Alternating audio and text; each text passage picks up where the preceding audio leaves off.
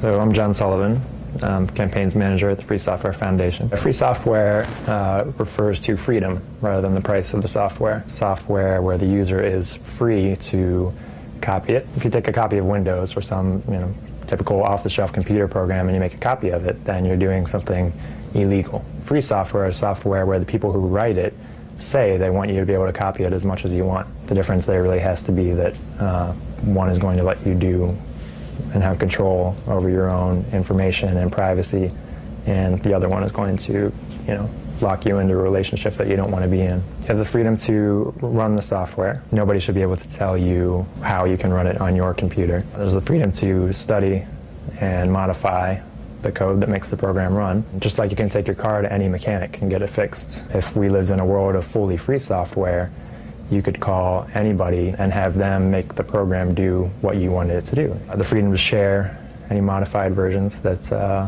you might make. What happens now is people aren't selling the software, they're selling you a license to the software. When you buy a copy of Windows, you don't actually own that you buy a license to use that, they are then able, down the line, like they've already done, to arbitrarily disable programs that are running on your computer. We sell software here ourselves, and we do it as a fundraiser. So you're paying because you want to, or because of a relationship or a service. You're not paying because you have to uh, get a license to use the software. Regular copyright um, is restrictive and tells you you can't make copies. You can't make something that is derivative of somebody else's work. We've taken that and turned it on its head and called it copyleft to say we want you to be able to share this uh, and we want you to be able to modify it and make new things out of it. There's a variety of free software licenses, but ours is called the GPL or GNU General Public License. Free software creates a different economy. Some of the good ideas are things like selling services associated with the software. They will help you, you know, tailor it or customize it the way that you want it. If it breaks, then they will come out and fix it. They'll keep you updated with the latest versions. Free software enables that business to happen on a much larger scale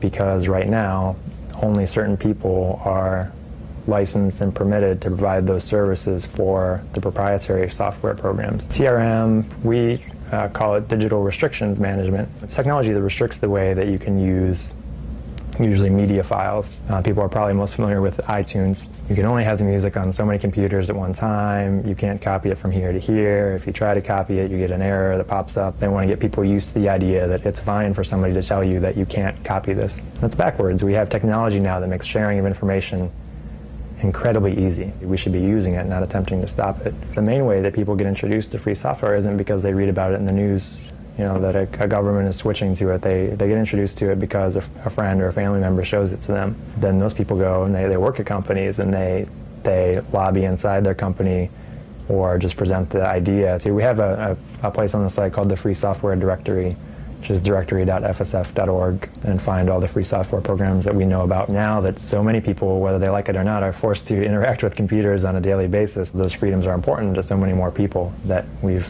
uh, definitely wanted to be out in public and, and communicating with a much bigger audience than, than we used to.